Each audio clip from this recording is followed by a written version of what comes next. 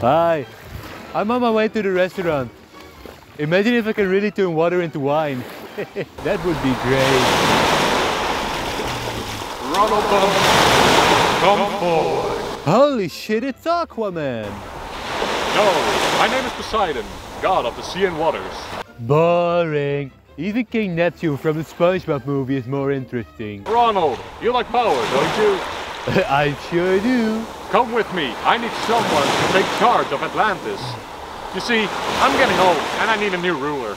Well, I can't fucking breathe underwater, so that's a no. Eh, that's right. What are you gonna do? Turn me into a fucking mermaid? Ah, possibly.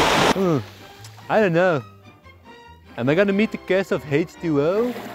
Like, back when it first aired, I had like a huge crush on, on Cleo, like, so, I mean... Silence! Well, no need to fucking yell at me, you bastard!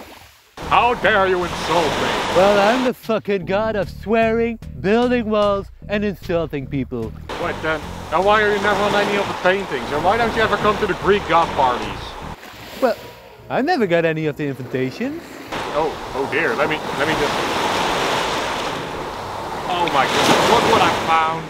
Oh my god, I'm so sorry. I hope you can come to the next party. Oh my god, there is a Greek god painting of me. Oh my god, they made me look so handsome.